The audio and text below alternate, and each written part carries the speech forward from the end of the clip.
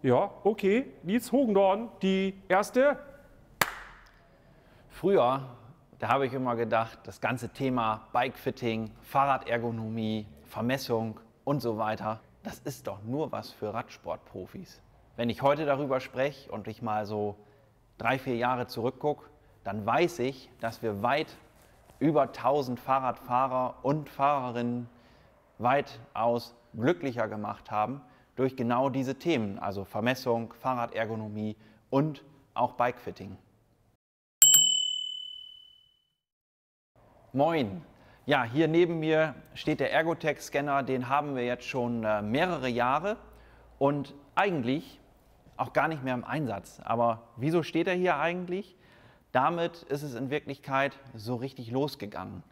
Ähm, der Ursprung war eigentlich der, wir haben Fahrradsattel verkauft und haben die natürlich auch auf die Fahrräder draufgebaut. Und dann kam immer mal so die Frage, ja, ich rutsche ein bisschen nach vorne, ich rutsche nach hinten, meine Hände schlafen ein, mein Nacken schmerzt und so weiter. Kannst du mal gucken?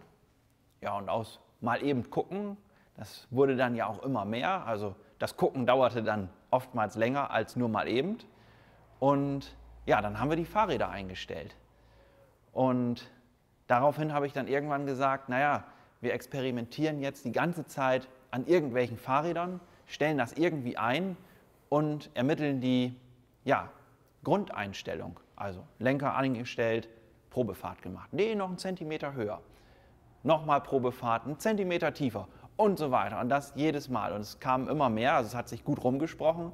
Mensch, wenn du nicht richtig auf deinem Fahrrad sitzen kannst, fahr mal zu Hogendorn, der hat den richtigen Sattel und der stellt dir das auch ein. Und dann habe ich gedacht, da muss eine Lösung her, weil dieses Einstellen und Probieren, das ist nur ein Zufallsprinzip und eine Glückssache, ob es denn beim nächsten Mal passt. Und dann habe ich gesagt, also was heißt gesagt? Dann bin ich über eine Fahrradmesse gegangen für Fahrradhändler. Ah. Ja gut, das kann mal passieren. Es sind, glaube ich, alle wach. Alle, die jetzt bis jetzt gerade eingeschlafen sind, sind Aber so siehst du auch, dieses Video ist wieder mal hundertprozentig live. Auf jeden Fall, ich bin über eine Fahrradmesse gegangen und habe die Firma Ergotech kennengelernt mit ihrem Ergotech-Scanner. Ich kannte vorher schon die Produkte, die Ergotech anbietet, wie Lenker, Vorbauten und so weiter. Aber sie hatten auch dieses tolle Gerät dabei und ich habe mir das dann mal erklären lassen, wie funktioniert es überhaupt, was habe ich für Möglichkeiten und habe dann gesehen, ich kann ganz einfach den Lenker tauschen, hoch und runter fahren. Ich baue da jetzt auch mal einen anderen Lenker drauf, weil ich habe ja hier vier verschiedene Lenker zur Auswahl. Weil vielleicht kannst du dir das vorstellen, wenn du dir ein Fahrrad kaufst, dann ist irgendein Lenker verbaut und du sagst vielleicht, ja, der Lenker gefällt mir noch nicht so ganz. Ja, was ist denn? Ja, meine Handgelenke knicken ab. Okay, welchen Lenker wollen wir denn nehmen?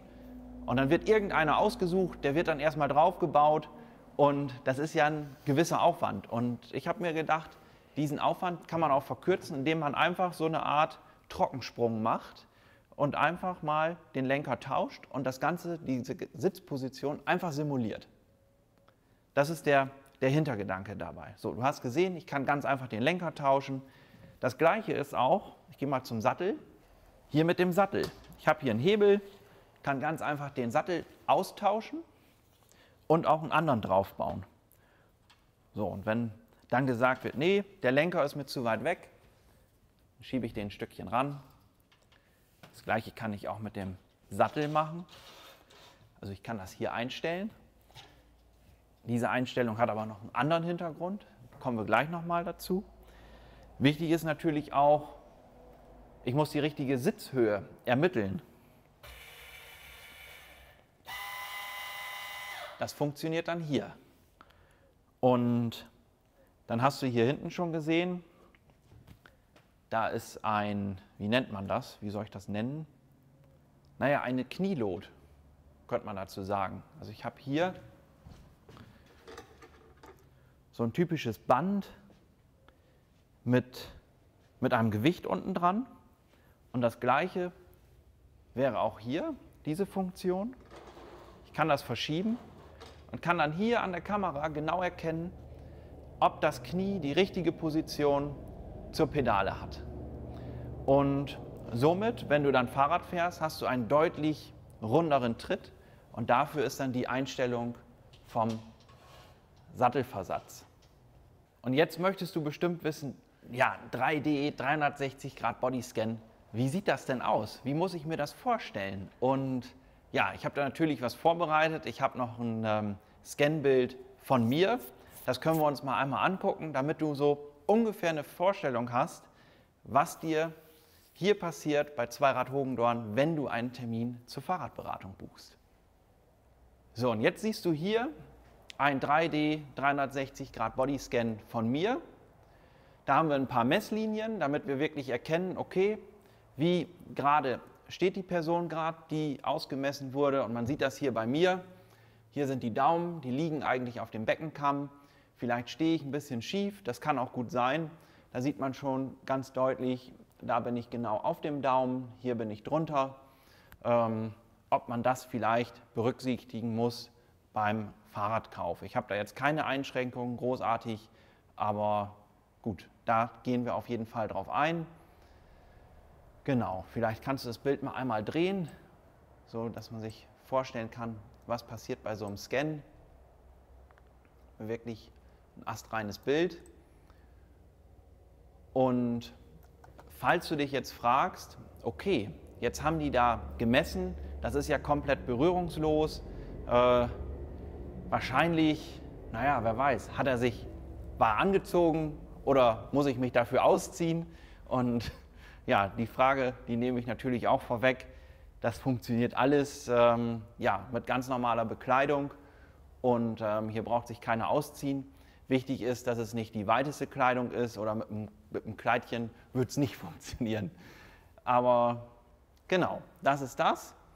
Ähm, vielleicht denkst du jetzt, okay, aber am Ergotech-Scanner, da haben die die Lenkerform und auch den Sattel ermittelt. Wie funktioniert das denn jetzt hier beim Bodyscanning? Und das kann ich dir auch sagen. Du siehst nämlich hier ein, ein Messbild von unserem Popometer. Das heißt wirklich so, das ist das Popometer. Und das hier sind meine beiden Sitzknochen. Und da wird dann der Abstand gemessen zwischen den, zwischen den Sitzknochen. Und wenn ich jetzt hier gucke, 10,8 cm Sitzknochenabstand. Und somit können wir dann nachher auch je nach Sitzposition, ob du jetzt eher aufrecht oder sportlich auf deinem Fahrrad sitzen willst, die richtige Sattelbreite ermitteln. Beim Lenker haben wir ja auch drüber gesprochen, beim Ergotech-Scanner. Den können wir da ganz einfach tauschen und ausprobieren, welche Griffe oder ähm, welche Lenkerform soll es sein. Damit das hier beim Bodyscanning einwandfrei funktioniert, messen wir auch nochmal die Handgröße und ähm, lassen das mit in unsere Berechnung einfließen. Wir können noch einmal ganz kurz auf die, ähm, auf die Messdaten eingehen. Man sieht zum Beispiel meine Körpergröße 1,92,29. Also du siehst schon, der Scanner misst wirklich zwei Stellen hinter dem Komma. Und ja, Funktionsgröße daher, weil ich ähm, oder weil wir jede Vermessung mit Schuhen machen, weil darauf kommt es natürlich auch an. Äh, du fährst ja auch nicht barfuß mit deinem Fahrrad. Ah, das heißt, du hast jetzt hier 8 cm hohe Absätze angehabt. Genau. Alles klar. Ja. ja, perfekt. Diese Messdaten bekommst du nach der Vermessung natürlich auch ähm, per E-Mail zugeschickt. Ja, jetzt hast du meine Körpermessdaten gesehen, aber wie ist das denn jetzt eigentlich mit dem Fahrrad? Weil mit 1,92 Körpergröße weiß ich ja noch nicht, wie weit muss der Lenker weg sein oder was für einen Sattelversatz habe ich oder auch ähm, die Sitzhöhe. Und hatte ich ja eingangs erzählt, wir gehen noch ein paar Fragen durch, sodass wir genau wissen, welche Radart soll es sein und ähm, wie, möchtest, wie möchtest du überhaupt sitzen, dass wir das wirklich ermitteln und dann errechnet das System wirklich die Einstellung und die gucken wir uns jetzt auch nochmal kurz an. Und jetzt siehst du hier schon mal ein Fahrrad. Das ist ein Beispielbild. Ich habe mich jetzt ähm, auf Trekking Touring eingeschossen Und neben dem Fahrrad siehst du hier schon verschiedene Messdaten und die werden dann auf dein bestehendes Fahrrad oder halt, wenn du ein neues Fahrrad kaufen möchtest, wird geguckt, welches Fahrrad oder zu welchem Fahrrad passen diese Einstelldaten. So, und dann werden diese Messdaten übertragen und dann machst du ganz in Ruhe eine Probefahrt. So, ich habe die Kamera noch mal eben angestellt. Also so schnell kommst du jetzt hier nicht weg. Ich habe gut aufgepasst. Äh, du hast ja ganz am Anfang gesagt, das Ding ist so perfekt, das ist so genau. Und wenn der Bodyscan, die Daten, wenn die so toll sind und genau sind, warum noch eine Probefahrt? Ja, das, äh, das stimmt. Ähm, es geht tatsächlich ohne Probefahrt. Das, ähm, wir haben hier eine sehr große Trefferquote. Größte Voraussetzung ist dafür wirklich, ähm, dass, ähm, dass das Scanbild richtig gemacht wird, dass wirklich der Daumen oben auf dem Beckenkamm liegt. Das ist Grundvoraussetzung dafür. Dann kriegen wir wirklich perfekte Zahlen. Und wenn wir die dann übertragen, und das ist exakt das Fahrrad, was, was sich unser Kunde wünscht, und der fährt dann drauf, macht eine Probefahrt, ich würde sagen, die kommen alle mit einem großen Lächeln von der Probefahrt zurück und sind begeistert und sagen auch wirklich, Mensch, äh, damit habe ich jetzt so nicht gerechnet. Das passt, das ist perfekt. Ja. Ja, jetzt hast du mal gesehen, wie hier die Fahrradberatung mit dem Bodyscanning funktioniert. Mal gucken, was da passiert. Ich habe nur gesehen, das Licht ändert sich. Das ist natürlich, ja, das ist ja echt. Ne? Genau. Und ja, jetzt weißt du auch, oder kannst dir sicherlich viel besser vorstellen, warum wir die Fahrradberatung nur auf Termin machen. Weil so können wir uns wirklich maximal auf dich und deine Wünsche einstellen und auch natürlich darauf eingehen, sodass du nachher ein Fahrrad bekommst, das wirklich, wie du gesehen hast, maßgeschneidert und perfekt zu dir passt und du wirklich maximalen Fahrspaß genießen kannst. Und einen Termin kannst du ganz einfach buchen. Hier unter dem Video findest du den Link zum Termintool und ja, wir freuen uns jetzt schon auf dich. Bis dann.